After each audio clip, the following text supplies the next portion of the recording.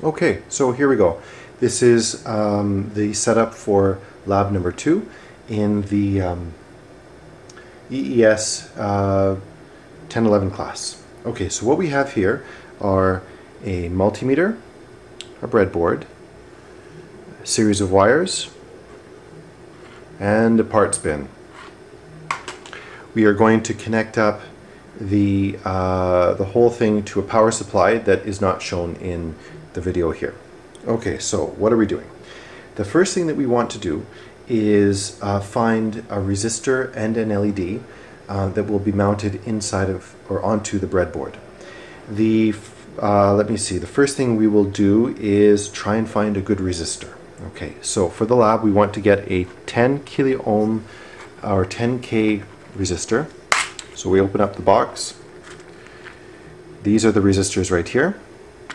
We're going to take out these resistors. I'm going to see if they are equal to 10 kilo ohms. So I'm going to set my multimeter to ohms like that.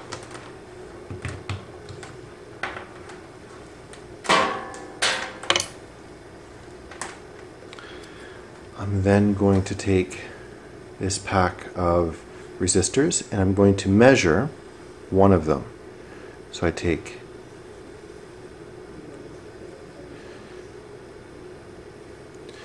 my red and black leads of my multimeter. I hold one end to one side of one resistor and one end of the red one to the other resistor like that.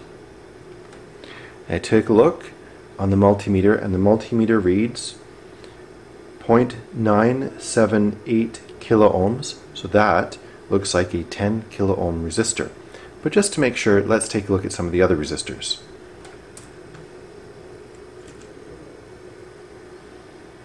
Here's another resistor set right here. I'm going to measure one of these resistors right there. So clip my hand clip with my hand right there like that. I'm now holding on to either end of the resistor. And if you look at the multimeter, it says 0.59, 0.61 mega ohms. So that's not a 10 kilo ohm resistor. And just to verify that nothing is happening with respect to this little piece of paper that's attached to the resistor, let's take the resistor all by itself. You can see it all by itself. Attached to one end there, and to one end there with my fingers and my thumbs and take a look at the multimeter, it says about 0.6 mega ohms.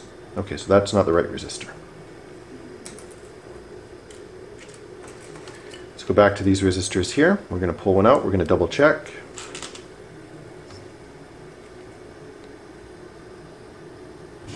That's the resistor right there. Hold it like that pinch it like that. We take a look at the multimeter. The multimeter is reading 0.97, 0.98 kilo ohms. This is a 10 kilo ohm resistor. Okay.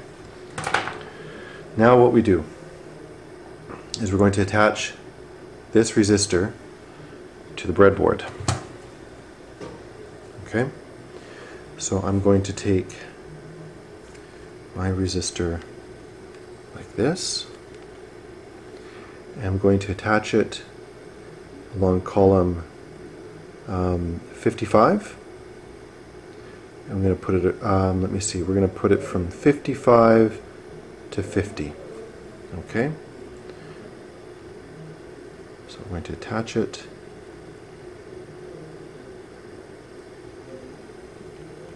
Takes a little bit of practice. I pushed it in. See now, now connected up between columns 50 and 55. Okay? Now I'm going to find an LED. Let's choose one of these uh, see-through white transparent ones, like that. Now the thing to watch for is that there is a flat edge a bit difficult to see.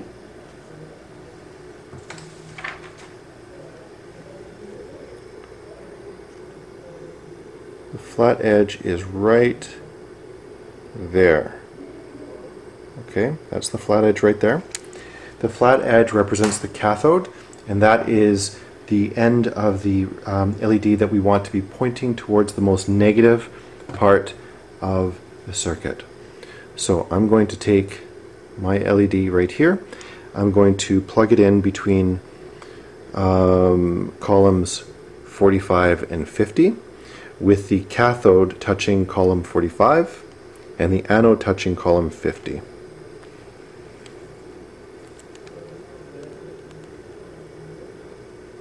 Come on.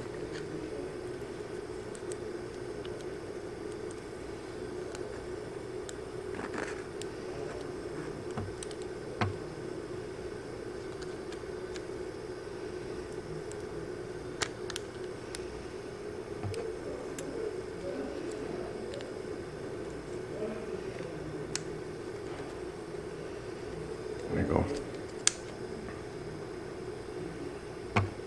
Okay, so like that. So I've connected it to column 45, 50, the LED and the resistor are common on 50, and then 55 right there.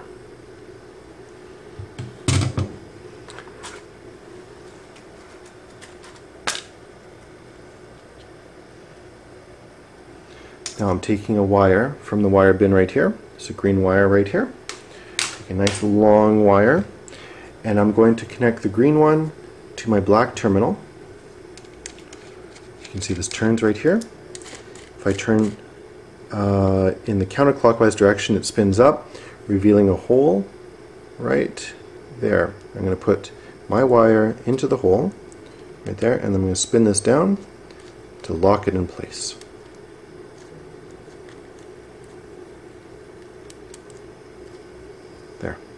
On it, it's nice and tight. I'm going to then connect the other end of this green to column 45, like that. So from there to there.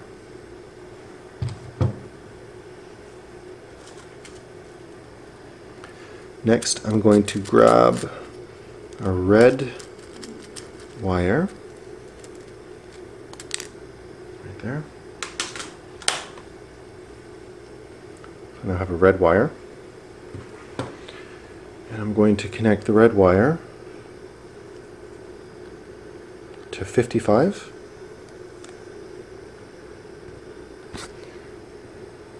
Like that.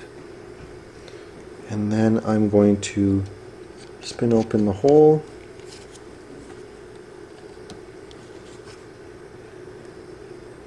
There you go. There's the hole right there.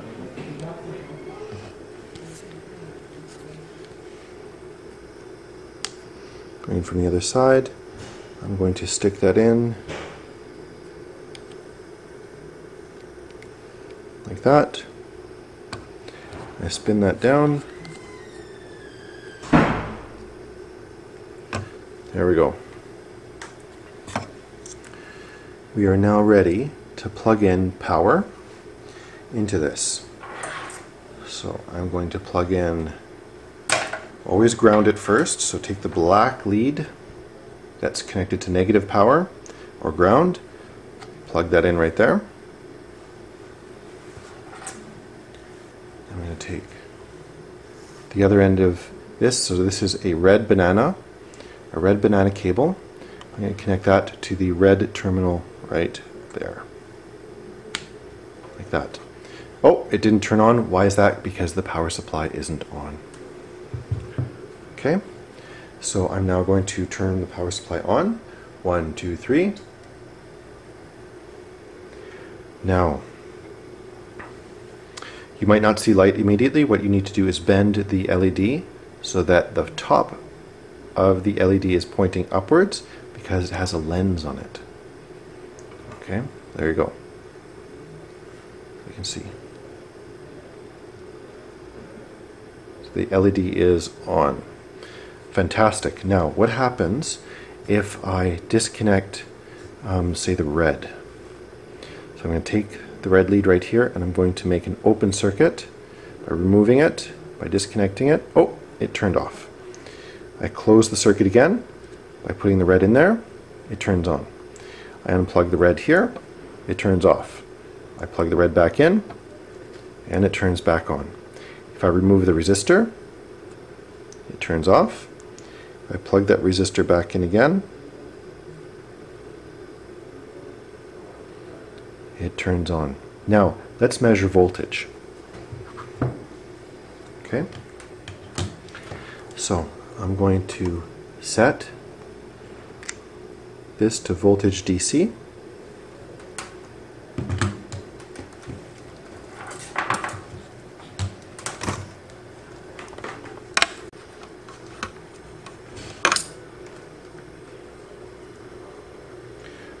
Measure at this plug here and that plug there,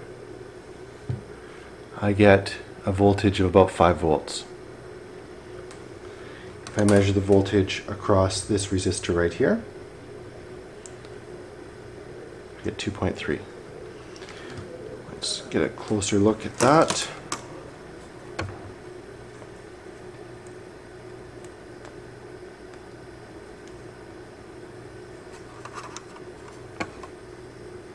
So I'm measuring the voltage from this point here to that point right there. I'm measuring the voltage across the resistor and I get a voltage of 2.32 volts. Now, if I want to measure the current, it's a little bit trickier. Um, I can do that as follows.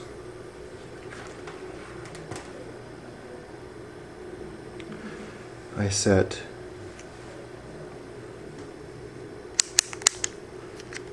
this to read milliamps. And then I'm going to break open the circuit. So the way to do that is to disconnect the resistor here. I'm going to plug it in there and to disconnect the LED and I'm going to plug it in there. So now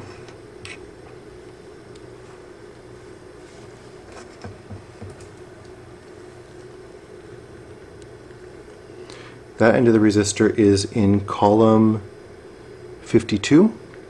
That end of the LED is in column 48. There is no connection between these two.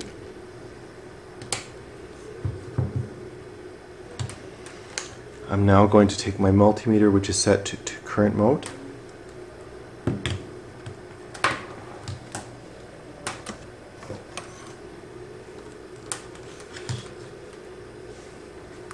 And I'm going to bridge the gap.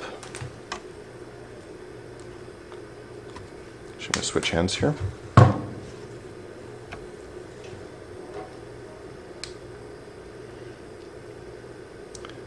Connect it there. I connect it there. Now I've created a circuit through my multimeter in current mode.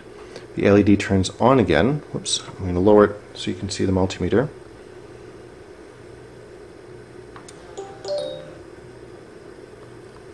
Just a moment.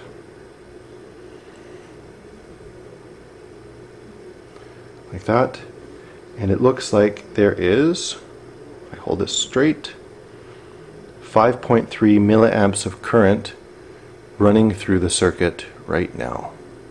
I disconnect the circuit's open again and there we have it. I've been able to measure both voltage